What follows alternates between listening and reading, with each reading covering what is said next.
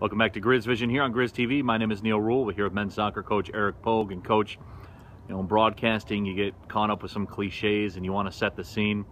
There's not much to say. It's you and it's Detroit, and it's the Metro Series rivalry cup driven by Trinity Transportation. Yeah, I mean it's uh it's it's always a great rivalry, and it's uh, only been amped up now that we joined the Horizon League, and only been uh, amped up since uh, it's become the Metro Series, and only been amped up again because uh, you know of the game last year and uh, you know, at the end of the day, we know this is just going to be a, a, a, grudge match. Um, you know, Detroit is a, is a very tough team. Um, you know, in terms of regular season, they haven't lost a regular season game in the Horizon League since uh, since our game last year, and uh, that just speaks to you know how difficult uh, a team they are to play. Obviously, they're going to come, you know, ready to play with a, and, and Nick does a great job with that team, and and uh, you know, so yeah, it's just going to be who who's ready for that fight, who's ready for that war, and uh, that's what it's going to be. It's not going to be so much about talent and all those things. You can kind of throw all that out the window, and uh, you know who's ready to get dirty and who's ready to get bloody and who's ready to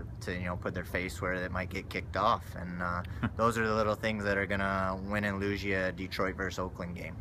And what about that? I mean, coaching's always talked about in the forefront, and they'll say your team is only as good as its coach is this one of those games where I mean, you know, obviously you guys are out there and everything like that, but is this one of those games where maybe coaching doesn't have quite the you know quite the effect that it normally would? Well, I mean, I think that the kids know what's uh, you know the guys know what's at stake here. And uh, not only that it's just a crucial game for both teams you know they're sitting at five points. I think we're sitting at seven points.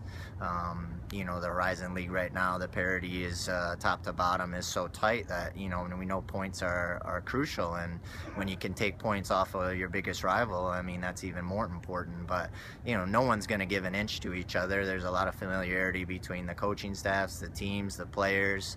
Um, and I think it's, uh, it's it's just one of those games that's super important for us and and them going into you know another tough game on the weekend against UIC. But all we're focusing on right now is a, a, a tough Detroit game, a Metro Series rivalry, and uh, you know we're we're ready for a war. All right, coach. Certainly do appreciate the time. Okay, I appreciate it.